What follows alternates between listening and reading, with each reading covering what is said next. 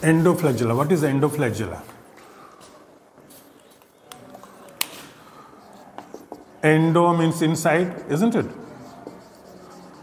Endoflagellum, rather, I am writing, singular. This endoflagellum, flagellum within the cell envelope, within the periplasm, this is also called periplasmic flagella.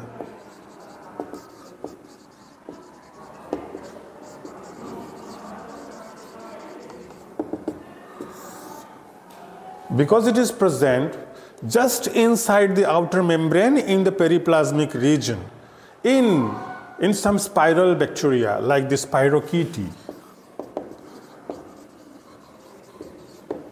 The spirochaete, they are spiral bacteria like this.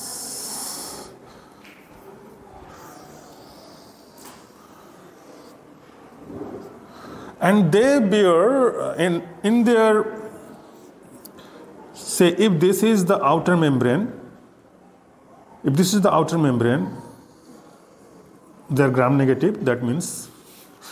So they possess a kind of flagella which is present just in the outer membrane, just in the periplasmic space, like this. It, it goes like this in a spiral way.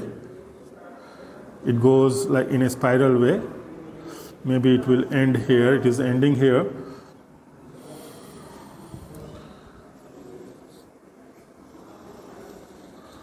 okay.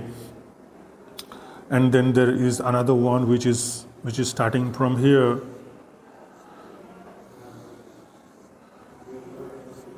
And there it will move like this on the other side. Oh you may take it that it is coming from the back. It is coming from the back of the cell. This filament is coming from the back and it is there on this side like this.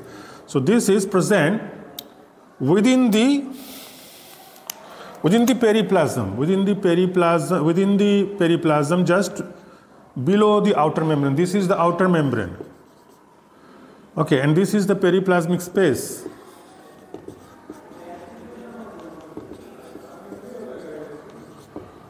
Okay, so because of the sliding movement of these endoflagella or periplasmic flagella, the spirochaete, which is a spiral structure, it shows a corkscrew-like movement. Corkscrew-like movement. The movement is like what is called corkscrew movement. Okay? Where do you find this kind of flagella? In spiral bacteria like spirochaete.